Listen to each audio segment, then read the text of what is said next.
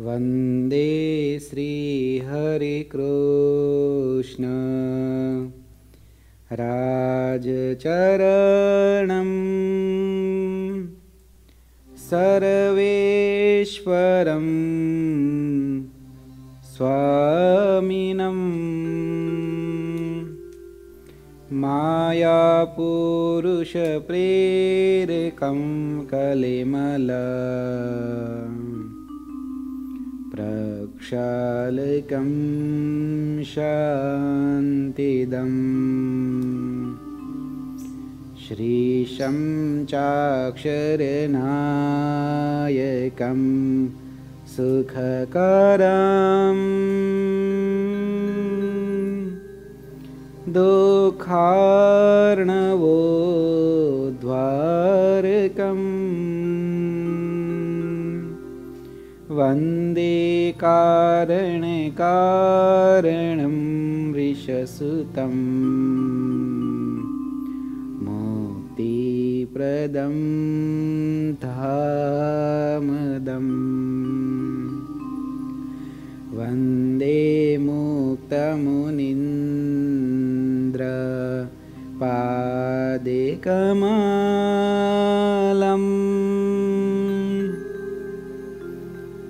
सदवृन्दचूडामणिम्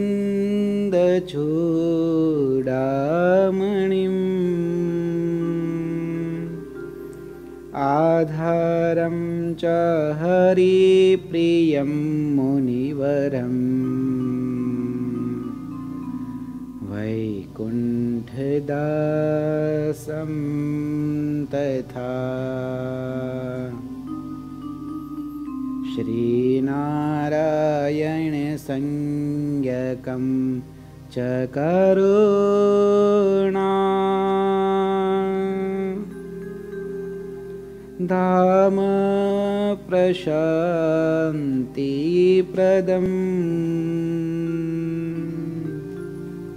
वन्दे श्रीनन्दकिशोरस्वामी चरणम् सिवाव्रतम्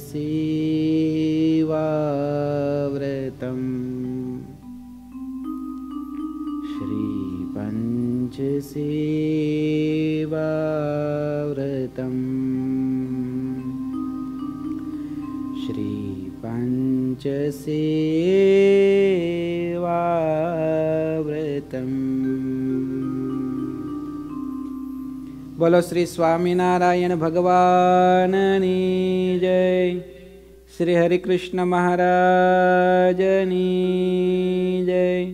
શ્રી ઘનશ્યામ મહારાજની જય. શ્રી ઠાકોરજી મહારાજની જય.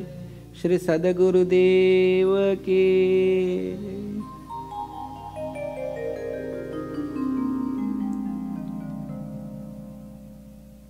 તારીખ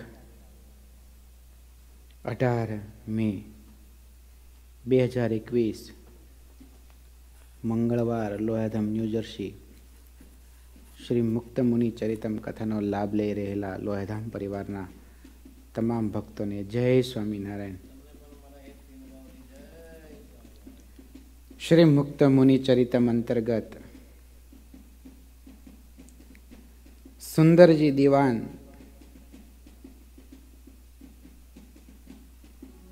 એમણે જે પહેલાં માનેલું હતું કે અસદ ભેગધારીઓ મેં ઘણા બધા જોયા. પરંતુ આ સંત એવા નથી. એમના હૃદયમાં પરબ્રહ્મ નારાયણે પ્રકાશ પાથર્યો કેતા પુકાર કર્યો. કે તું જે માને છે આ સંત એવા નથી. આ સંત કંઈક આખા અલગ છે. આ નિર્મળ સંત છે એવો દ્રઢાવ સુંદરજી દીવાને કર્યો.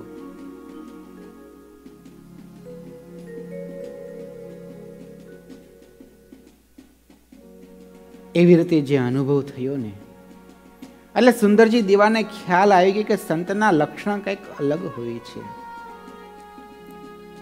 આ રામાનંદ સ્વામીના શિષ્ય, મુક્તાનંદ સ્વામીને જોઈને મને એમ થાય છે કે ખરેખર જે વાસ્તવિકતાના સંતના લક્ષણ છે ને, એ સ્વામીમાં મને વિદ્યમાન જણાય છે. કેતા, એક એક એમના શબ્દ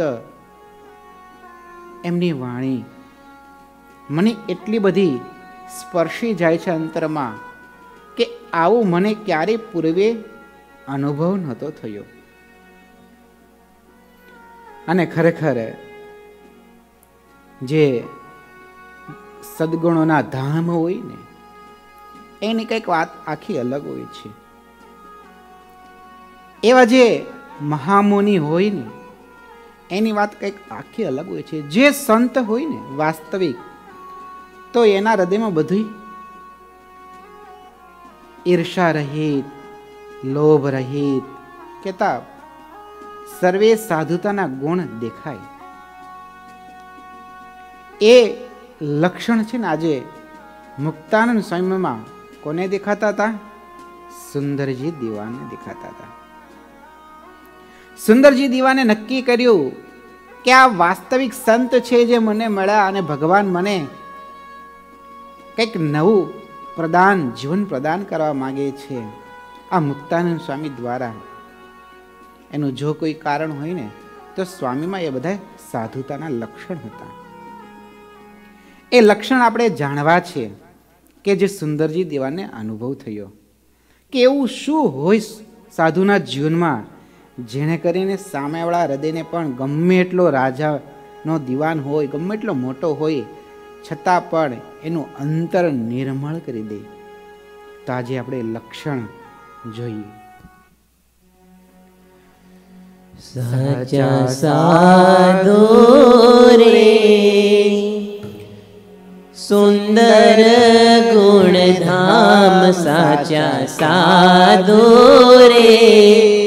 સુંદર ગુણધામ. સમજીને સત્સંગ કીજીએ સમજીને સત્સંગ કીજીએ સમજીને સત્સંગ કીજીએ રે સાચા સાધો રે. સુંદર ગુણધામ સાચા સાધો રે. સુંદર ગુણધામ સાચા સાધુ કોને કહેવાય? જે સદગુણના ધામ હોય ને, એવા જે સાધુ હોય ને, એવા સાધુનો સત્સંગ કરવો. અને એવા જ્યારે સાધુ આપણને મળતા હોય ને, ત્યારે વાસ્તવિક સત્સંગની પરિવ્યાખ્યા સમજાતી હોય છે. હોજી રે સંત સુલક્ષણ ના ભર્યાજી રે સંત સુલક્ષણ ના ભર્યા અવગુણ નો રે અવગુણ નો રે ઓરમાં નહીં લે અવગુણ નો રે અવગુણ નો રે ઓરમાં નહીં લે મહાનુભાવ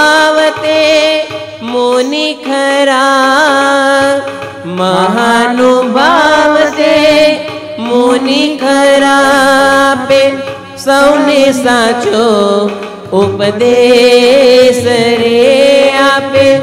સૌને સાચો ઉપદેશ રે, સાચા સાધો રે. સુંદર ગુણધામ, સાચા સાધો રે. સુંદર ગુણધામ. જે સાચા સાધુ હોય ને, એના અંતરમાં અવગુણની ક્યારે ઝપાટી નથી વાગતી ક્યારે? એ ક્યારે અવગુણમાં ના લેવાય? એને ગમે એટલા દોષ સામેળામાં હોય, પણ હંમેશા એ છે ને નિર્દોષ સમજતા હોય છે. સ્વામીનું જીવન એવું હતું કે કોઈ પણ મુમુક્ષુ એની પાસે આવે ને, એ કુસંગી હોય તો શું? કે થોડોક વલ્લભ સંપ્રદાયને માનતો હોઈ શકો શું કે કોઈ શિવ સંપ્રદાયને માનતો હોય તો શું? પણ સ્વામીની દ્રષ્ટિ હંમેશા છે ને નિર્દોષ રહેતી હતી. એ નિર્દોષ બુદ્ધિના કારણે છે ને સુંદરજી દીવાનું એ હૃદય જીતી શકતા હતા. જીરે સંત સદા શીતળ રહે. જીરે સંત સદા શીતળ રહે. ક્યારે ન તપે રે ક્યારે ન તપે રે. કામ ક્રોધ નિજાડ ક્યારે ન તપે રે કામ ક્રોધ લોભ તજી હરિને ભજે. લોભતજી હરિને ભજે. ધારે ઓરમાં દ્રઢ કરી શ્રી ગોપાળ ધારે.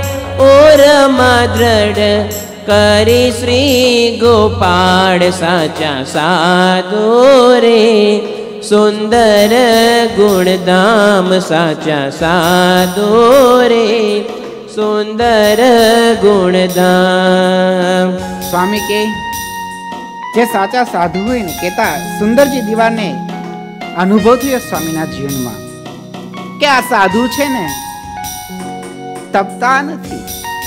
આ સાધુને હું ક્યારનો જોઉં છું? ક્યારથી એ બોલે છે? પરંતુ એની વાણીમાં શીતળતા અને શીતળતા, કોઈ પણ પ્રકારનો અહંકાર, કોઈ પણ પ્રકારનો માન, કોઈ પણ પ્રકારનો લોભ આ સાધુમાં મને દેખાતું નથી. અને ખરેખર તો જે સાચા સાધુ હોય ને, એનામાં લોભ ના દેખાય, એનામાં ક્યારેય ક્રોધ ના દેખાય, એનામાં ક્યારેય ઉષ્ણતા ક્યારે એના હૃદયમાં ન વ્યાપે. એનું એક જ મન હોય કે બસ મારી પાસે જે કોઈ જીવ આવે ને, એને ઠંડો કરવો છે. મારી પાસે જે કોઈ જીવ આવે ને, ભલે એના અનંત ક્રોધ થયેલા કે ઉચ્ચાર થયેલા શબ્દ હોય, કે અનંત અવગુણો હોય, મારે કઈ જોવું નથી. પરંતુ મને જે ગુરુદેવ મારી પાસે જે કરાવવા માગે છે મારી પાસે જે ઠાકોરજી મહારાજ કરાવવા માંગે છે ને, એ મારે કરવું છે. અને સ્વામી કે એવા જે સાધુ છે ને, એ સુલક્ષણથી ભરેલા હોય, સદગુણથી ભરેલા હોય. જીરે ત્રિભુવનની સંપત મળે, જીરે ત્રિભુવનની સંપત મળે તોય न तजे रे तोय न तजे रे अर्ध पड हरि ध्यान तुय न तजे रे अर्धपड हरि ध्यान। ब्रह्मरोपाय हरि ने बजे हो।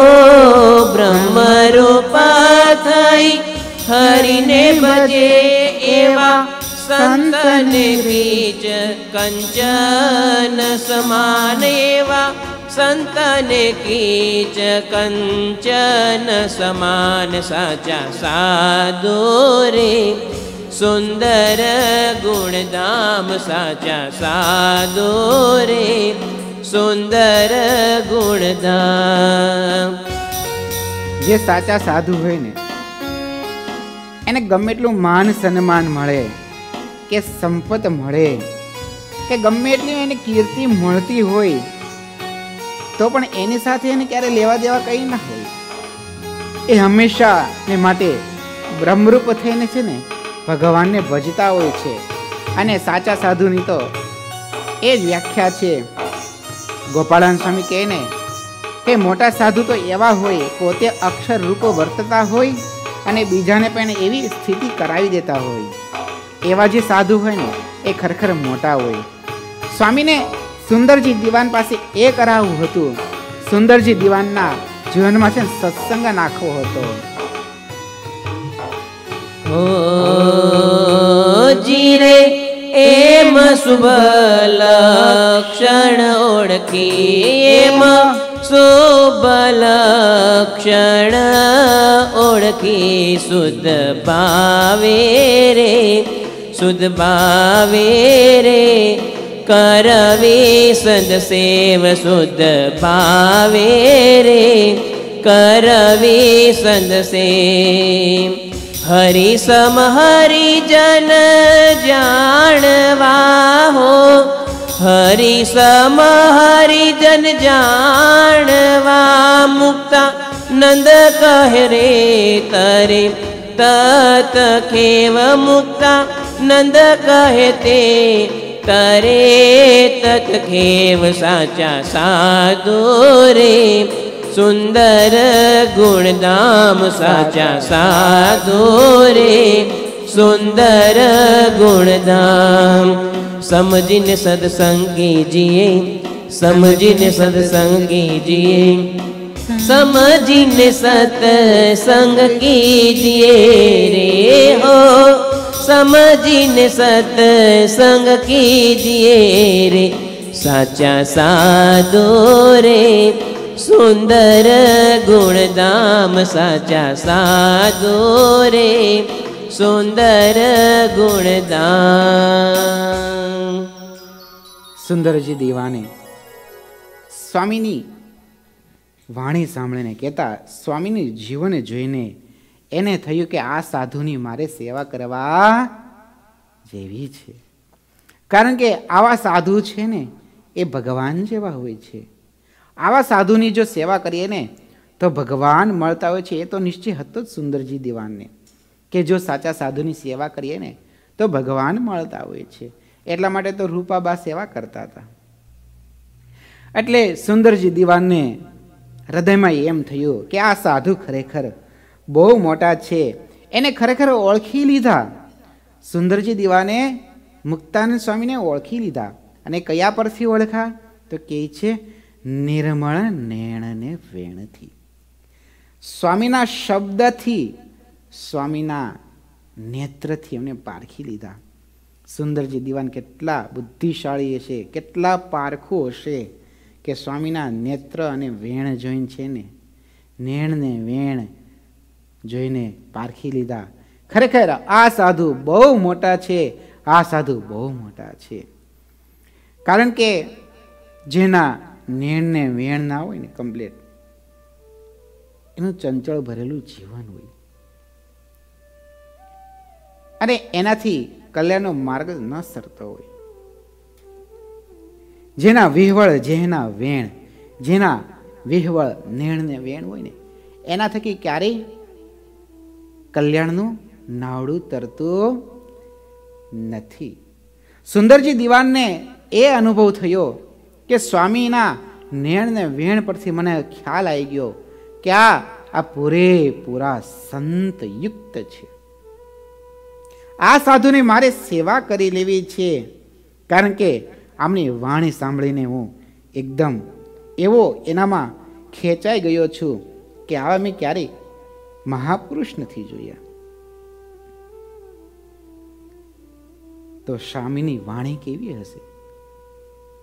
કે સુંદરજી દિવાન, આટલા મોટા રાજાના દિવાન હોવા છતાં એને પૂર્વે જે ભ્રમણાઓ હતી કે આવું આવું હોય છે અસદ ભેગધારીઓમાં, એ બધી સ્વામી આગળ તૂટી ગઈ. એનું કોઈ કારણ હોય ને તો સ્વામીની વાણી હતી. જો ને આજે જે કહે છે બધું વાણીથી જ છે. ક્લેશ, કંકાસ, કલહ, બધું વાણીથી જ છે ને. વતનામૃતમાં મહારાજ કે,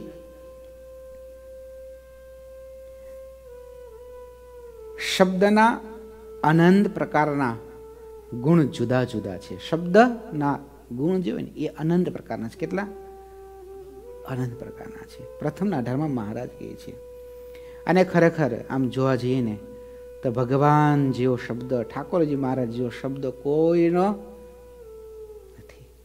સદગુરુનો શબ્દ જેવો કોઈનો નથી. ભગવાનનો જેવો શબ્દ છે તેવો બીજો આ બ્રહ્માંડમાં કોઈનો શબ્દ નથી જે જેની ઉપમા દઈએ પંચાળાના ચોથા મહારાજ કહે છે. કારણ કે જેવો શબ્દ જીવ સાંભળે ને, એવો થઈ જતો હોય છે. સુંદરજી દીવાને પૂર્વે ઘણા બધા શબ્દ સાંભળ્યા હતા, અસદ ભેગધારીઓના. એટલે તો આપણે કાલે જોયું કે સુંદરજી દીવાને કેટલા એવા છેતરી ગયા, શ્રાપ આપીને, ભય બતાવીને, જો તમે આમ સેવા નહીં કરો, જો તમે અમારું નહીં માનો, તો ભાલા ચીપ્યા લઈને અમે મારી નાખશું અમે તમારું આમ કરશું ને શ્રાપ આપશું. અને જે ભગવાનનો ભક્ત હોય, એ તો ભય પામતો હોય. જો સાધુ દુખાણા, તો બધું નાશ થઈ જશે. પરંતુ સુંદરજી દીવાના એ કંઈક અલગ વાણીનો અનુભવ થયો. અલગ વાણીનો અનુભવ થયો. કારણ કે જેવો જીવ શબ્દ સાંભળે ને, એવો જીવ થઈ જતો હોય છે. સ્વામીના વાતોમાં આવે છે. ગુણાતીતાના સ્વામી કે કે જેવો શબ્દ સાંભળે તેવો જીવ થઈ જાય છે અને ભગવાન તથા સાધુના શબ્દથી દેહ બંધાય છે. ભગવાન અને સંતના શબ્દથી દેહ બંધાય છે.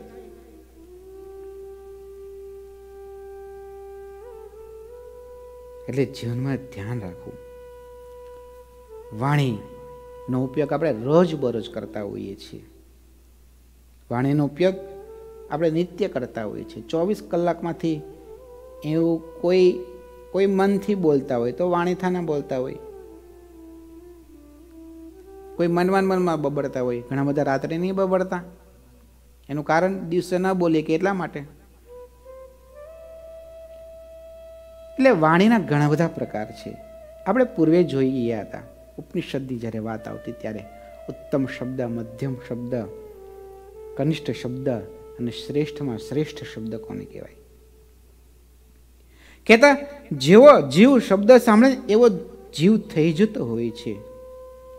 એટલા માટે દશરથમાં પ્રાર્થના કરવાનું કહે છે. જીહવયા અગ્રે મધુ જીહવા મૂલે મધુ કલમ મમેદહ કૃતાવસો મમ ચિત્તમ ઉપાયસી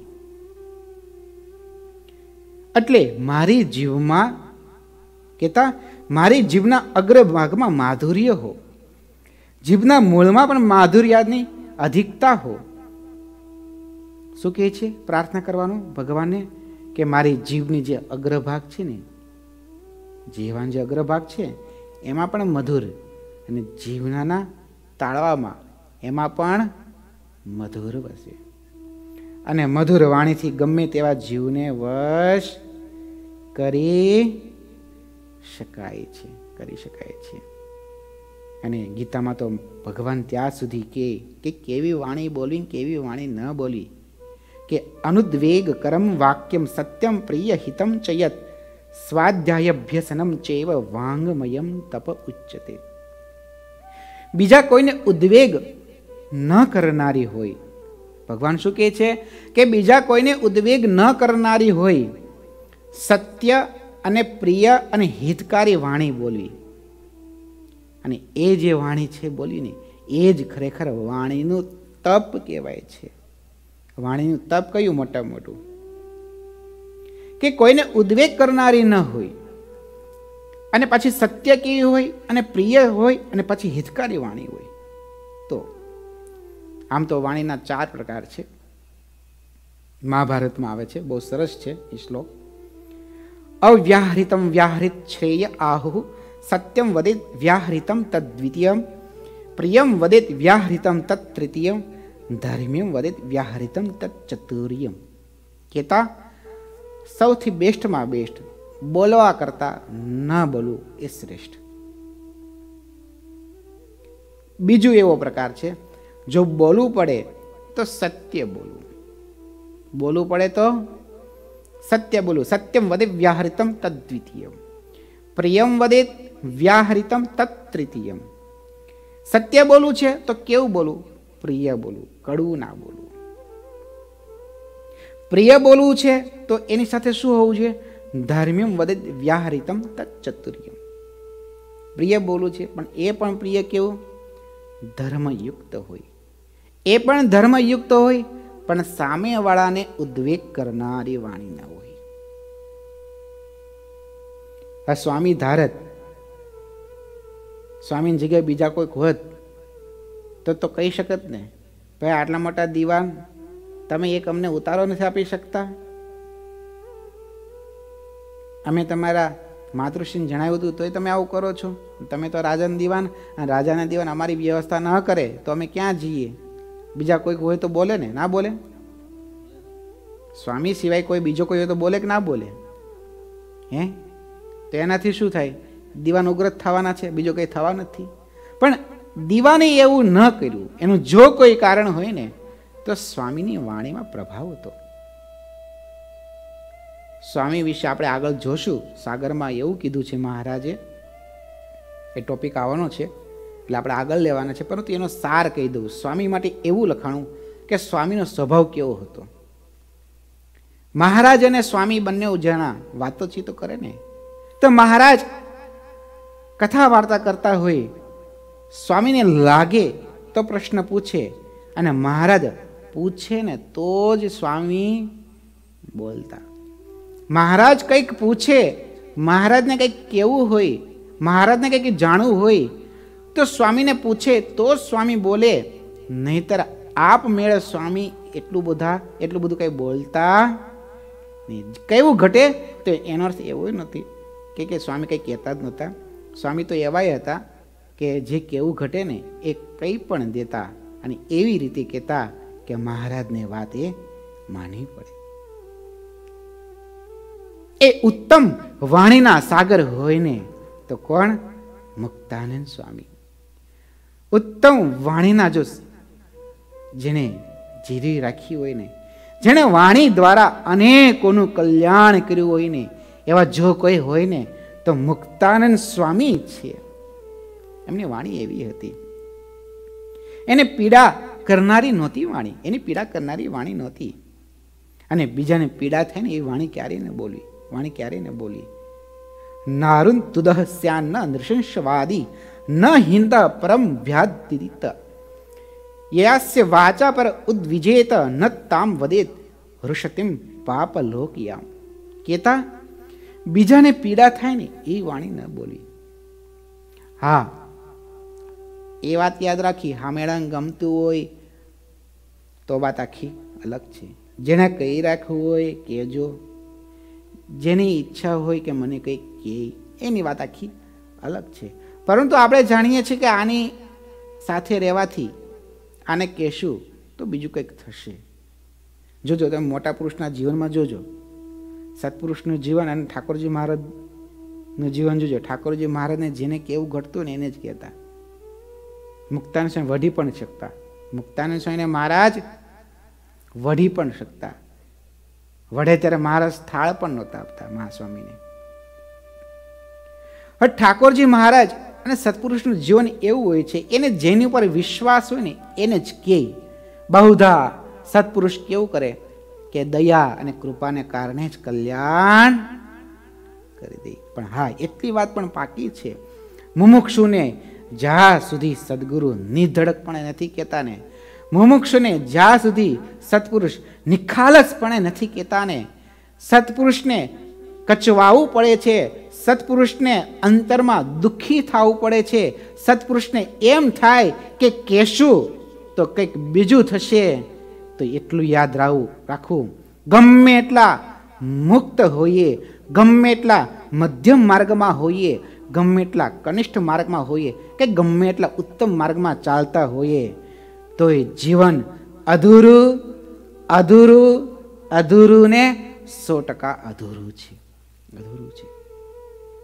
જ્યારે ઠાકોરજી મહારાજ અને સત્પુરુષ તમને નિખાલસપણે તમારી સાથે સંપૂર્ણ હૃદયની નોંધ ખાલી કરી દે ને, જ્યારે ઠાકોરજી મહારાજ અને સત્પુરુષ એના તમામ વૃત્તાંત જીવનના ખાલી કરી દે ને, અને સત્પુરુષને અને ઠાકોરજી મહારાજને એમ થાય ને કે આને કહેવા મને કંઈ પણ વાંધો નથી અને ખરેખર તો મુમુક્ષુ તો એ જ સાચો અને શિષ્ય તો એ જ સાચો પુત્ર તો એ જ સાચો અને રાજાનો મંત્રી પણ એ જ સાચો કે રાજાને કેવું ન પડે કે મારે આ કામ છે.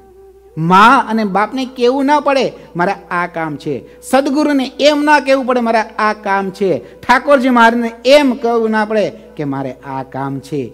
એની રુચિ, એમનો અભિપ્રાય અને એનું આજુબાજુનું પૂર્વાપર બધું જ બેકગ્રાઉન્ડ સમજી રાખીએ અને જાણી રાખીએ અને એ પ્રમાણે કરે ને એ શ્રેષ્ઠ શિષ્યની નિશાની છે, એ શ્રેષ્ઠ પુત્રની નિશાની છે, એ શ્રેષ્ઠ મંત્રીની નિશાની છે અને શ્રેષ્ઠ ભક્તની નિશાની છે.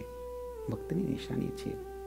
મુક્તાનંદ સ્વામીના જીવનમાં એવું હતું સદગુરુ શ્રી રામાનંદ સ્વામીનું જીવન એમને સંપૂર્ણ જાણી લીધું હતું અને સંપૂર્ણ જાણી લીધું હતું ને એના પાવરથી અને એના કેફથી આગળ વધતા હતા વધતા હતા. સ્વામીના જીવનમાં કઈ મોહબત કોઈની નહોતી, કોઈની મોહબત નહોતી. કોઈ જગ્યાએ એમ નહીં લાગે કે કોઈ જગ્યાએ મોહબત હોય. ક્યારે એવું પણ નહીં દેખાય સ્વામીના જીવનમાં કે સ્વામી કોઈની કોઈની પોતાની વાણી કરીને કોઈને દુખ્યો કર્યો હોય. સ્વામી જોડે જે કોઈ રહીને એ સુખ્યો, સુખ્ય ને સુખ્ય થઈ જાય, સુખ્ય ને સુખ્ય થઈ જાય. કારણ કે સ્વામીની વાણીમાં એવો પ્રભાવ હતો પ્રભાવ હતો. અને જ્યારે એવી વાણી હોય ને, ત્યારે બધાના હૃદય ઠરતા હોય છે.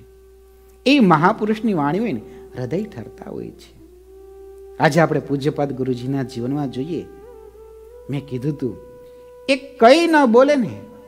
ખાલી સીટ ઉપર કેતા એક સાદડી ઉપર ખાલી બેઠા હોય ને, એક વ્યાસપીઠ ઉપર ખાલી બેઠા હોય ને, ખાલી દર્શન દેતા હોય ને, ત્યાં કાળ, કર્મ, માયાનો પ્રવેશ જ ના હોય, પ્રવેશ જ ના હોય.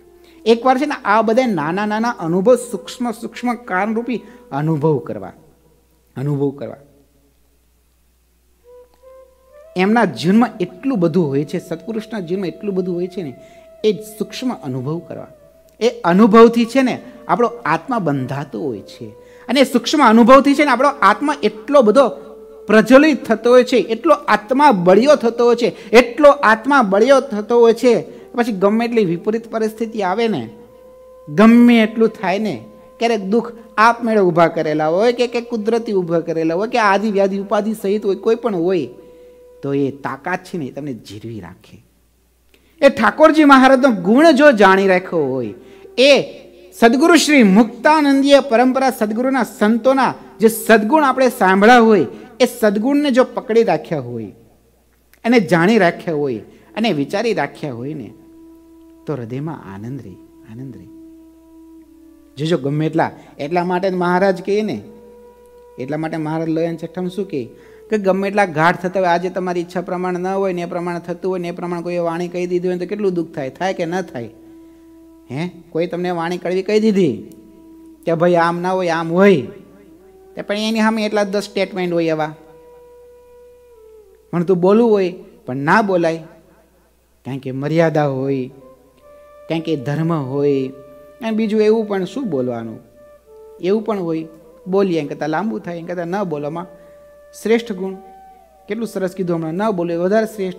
અને બોલું તો સત્ય અને પ્રિય બોલું અને એની કરતાં ધર્મયુક્ત બોલું, એની કરતાં વધારે તો ઉદ્વેગ કરનારી ના હોય એવી રીતે બોલું. સ્વામીનું જીવન એવું હતું, સ્વામીનું જીવન એવું હતું. અને જ્યારે ગાઢ થતા હોય ને, જ્યારે ક્રોધ વ્યાપતો હોય, અને હા, અને જો સત્સંગનો બગાડ થતો હોય, સત્સંગની કંઈ હીન થતું હોય સત્સંગ કંઈ હીન થતું હોય, આ મર્યાદાનો અતિપય, અતિશય ઉલ્લંઘન પણ થતું હોય, મોહાંધને લઈને લોભને લઈને, રાગને લઈને, દ્વેષને લઈને કંઈ થતું હોય, તો એને હિતની વાત કેવી જોઈએ. ભાઈ, આવી રીતે છે, છતાં પણ તમને જેમ યોગ્ય લાગે એમ કરજો. તમને જેમ યોગ્ય લાગે એમ કરજો. એ જીવને પછી માનવું ન માનવું એની વાત છે. એને જો ઠાકોરજી મહારાજને ભજવા હશે, એને જો સત્પુરુષને ભજવા હશે, અને સત્પુરુષનો રાજીપો જોતો હશે, અને ઠાકોરજી મહારાજના રાજીપો જોતો હશે, તો કરશે. મુક્તાન સિંહને એ જ હતું. સુંદરજી દીવાને કઈ જાણતા હતા? પછી સુંદરજી દિવાનની જેવી રીતે મહારાજ જેવી રીતે પ્રેરણા કરે એવી રીતે. સ્વામી એ કરતા હતા. સ્વામીનો કોઈ જગ્યાએ આગ્રહ ભરેલું કંઈ નહોતું. પણ સ્વામીનું જીવન જેવું હતું કે એમનું સાંભળો, જીવ છે ને ખેંચાતો ખેંચાતો આવે. ખેંચાતો ખેંચાતો આવે. આપણે મુક્તાનંદીય પરંપરાના એક એક સદગુરુના જીવનમાં જોઈએ, જોવા જઈએ ને, તો એક એક મુમુક્ષુ ખેંચાઈને આવે. દાદા ગુરુજીનું જીવન કેવું હતું? દાદા ગુરુજીનું જીવન પૂજ્યપાદ ગુરુજી જ્યારે વર્ણન કરે, કેવું હતું? માર માર કરતો આવતો હોય, કે ગમે એટલો ક્રોધનો ભભૂકી આવતો હોય, મમ્મીનો પ્રસંગ આપણે જાણીએ છીએ, સૌ કોઈ એનાથી વિદિત છીએ. ગમે એટલો સામે ક્રોધી આવતો હોય, છતાં પણ દાદા ગુરુજીના દર્શન કરે ને, દાદા ગુરુજીની વાણી સાંભળે ને, તો સામેવાળો જીવ શાંતિને પામી જાય. એમ પૂજ્યપાદ ગુરુજીના જીવનમાં પણ આપણે જોઈએ ઘણાની વાણી એવી હોય કે કડવું હોય ને, કડવું હોય ને તો ગમે જ નહીં. કડવું હોય ને તો ગમે નહીં. અમુકની વાણી એવી હોય કે કડી હોય અને આપણને બહુ આનંદ આવે કે ના, સારી વાત છે, સાચી વાત છે. એમ આપણા જીવનના બધાના આપણને અનુભવ થતા હોય. જો, અને એમાં બહુ બધા તો ખાસ તો એવું હોય કે જેને જેની સાથે હેત હોય એની વાત જલ્દી મનાય.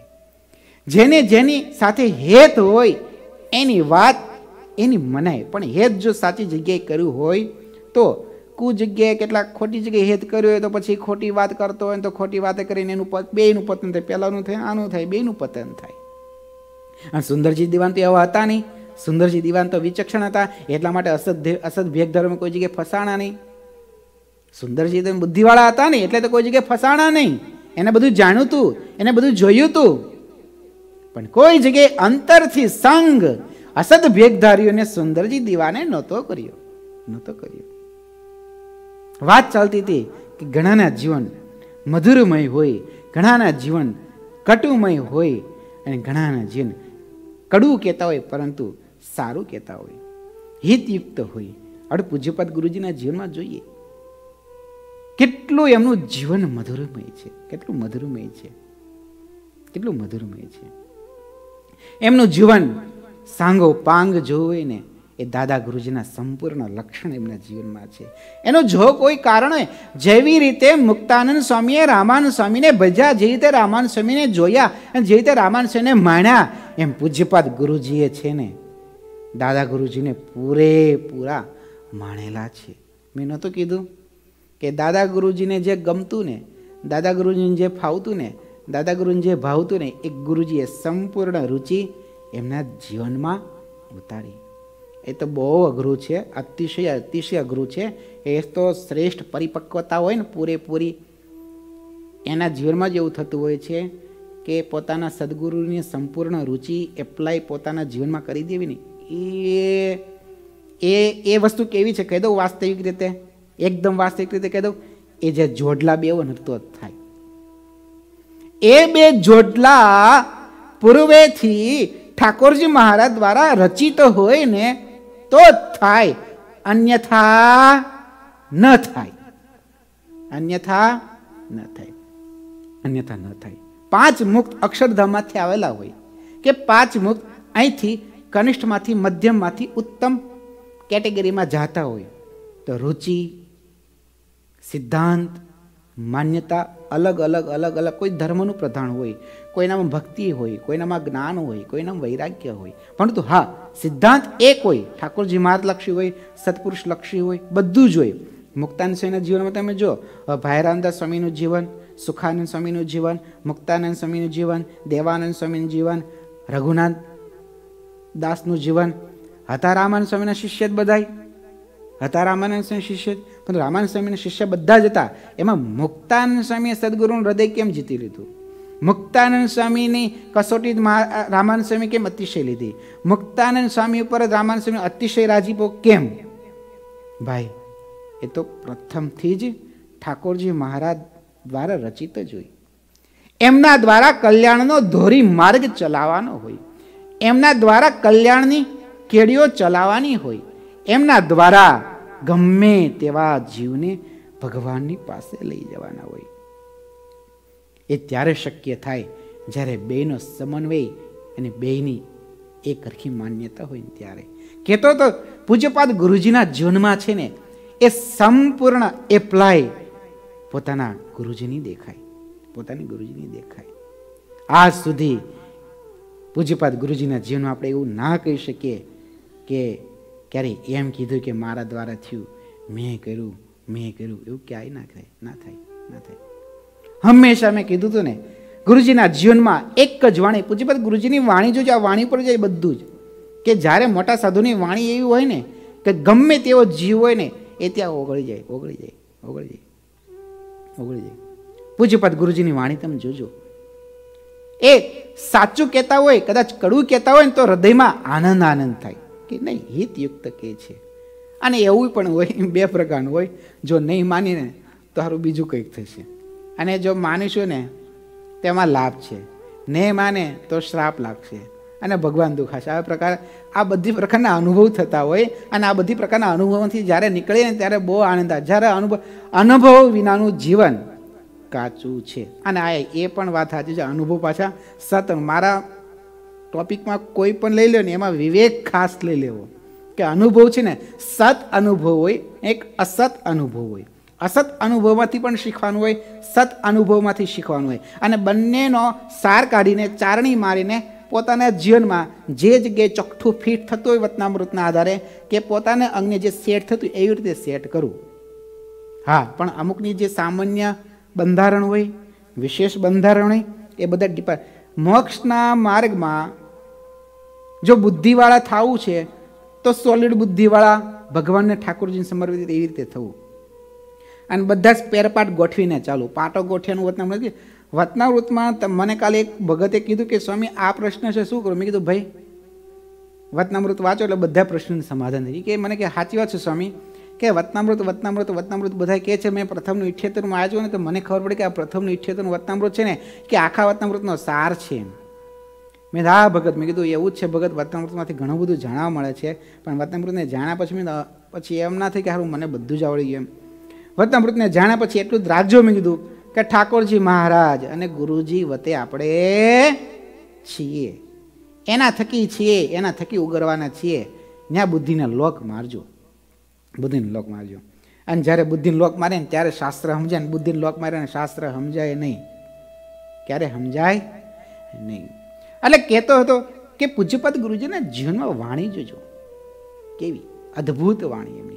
અદ્ભુત વાણી. એ વાણી સાંભળીને આપણને હૃદયમાં શાંતિ થાય. શાંતિ થાય.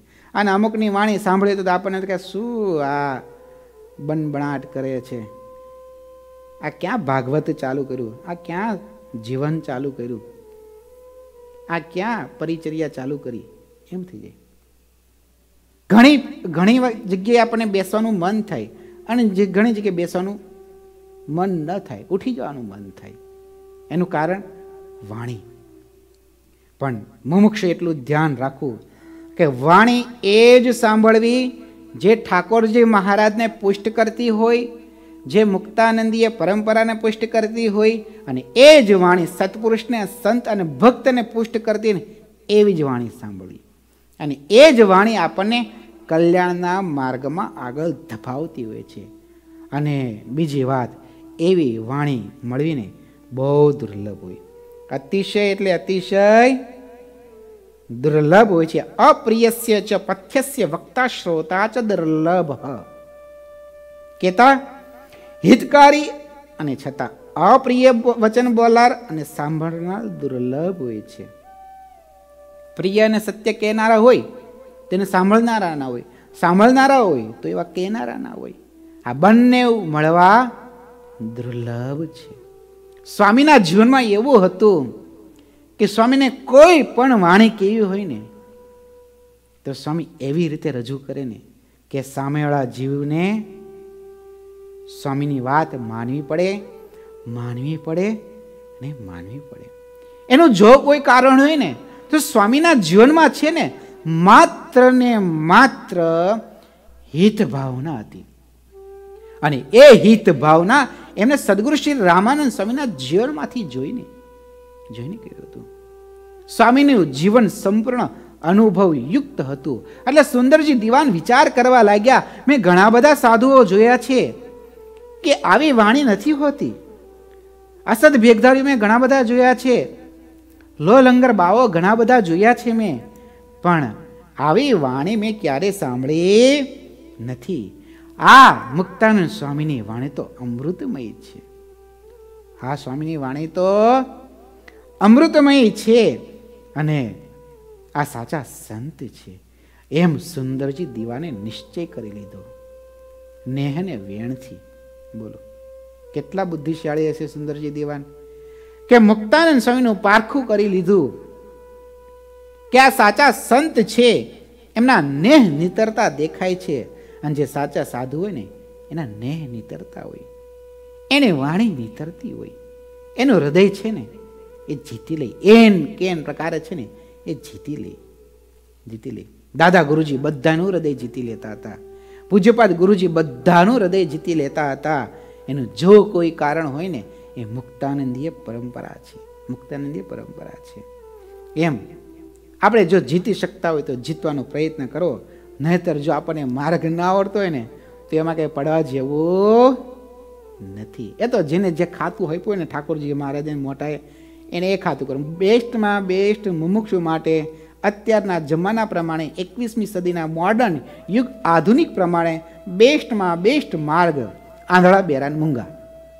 ઠાકોરજી મહારાજ આગળ આંધળા બેરાન મૂંગા, સત્પુરુષ આગળ આંધળા બેરાન મૂંગા કેવું ઘડતું હોય તો પ્રેમથી કેવું? પછી યોગ્ય લાગે તો કરે, અન્યથા સ્વીકાર કરી લેવો. અન્યથા સ્વીકાર કરી દેવો. પણ હા, પોતાની ઉપસ્થિતિમાં એવું કંઈ ન થવું જોઈએ.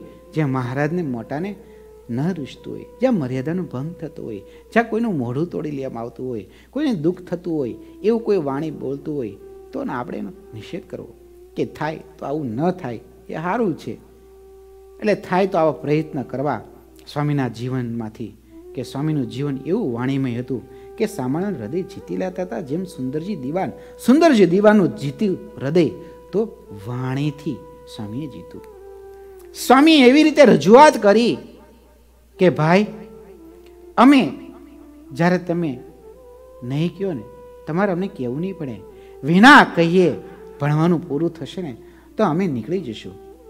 અને આવી વાણીને છે ને સાંભળીને સુંદરજી દીવાને અતિશય ગુણ વ્યાપ્યો.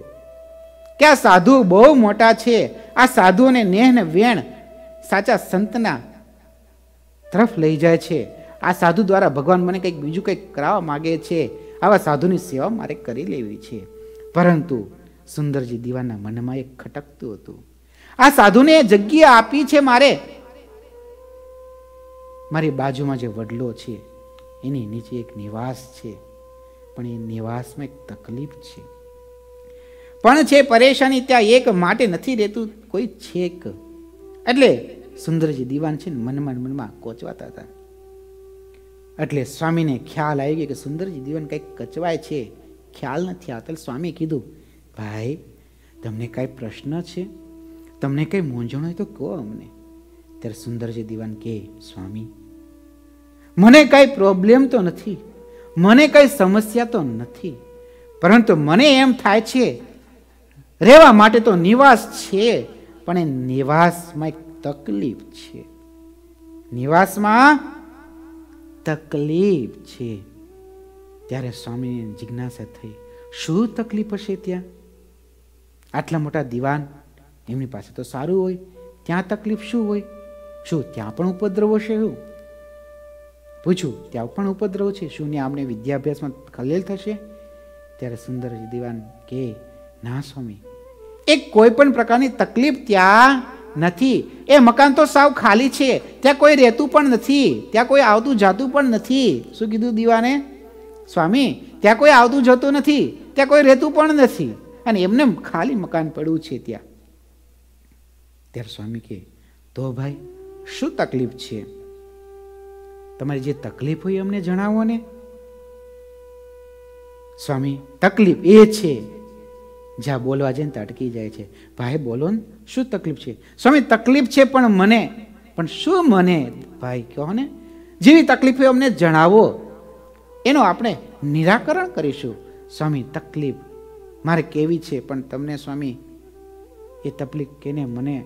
હૃદયમાં એમ થાય છે એવા મકાનમાં મારે તમને ક્યાં રાખવા? જે મકાનમાં કોઈ રહેતું ન હોય, જે મકાનથી બધા ભય પામતા હોય, એવું શું છે ત્યાં ભાઈ? બધા ભય પામે છે. તમે સુંદરજી દીવાન કહો, શું તકલીફ છે? તમે એકદમ દિલ ખોલીને અમને વાત કરો. ત્યારે દીવાન જે વાત ખોલે છે ને, જે તકલીફ કહે છે ને, એ તકલીફની વાત આપણે આવતીકાલે દોહરાવીશું. એ કથાને પૂર્ણ કરીએ છીએ. બોલો, ઘનશ્યામ મહારાજની જય. શ્રીપતિમ શ્રીધરમ સર્વદેશ્વરમ ભક્તિધર્માત્મજમ વાસુદેહમ હરે. માધવમ કેશવમ કામદમ કારણમ શ્રી સ્વામિનારાયણ. નીલકંઠમ ભજે. શ્રી ઠાકોરજી મહારાજની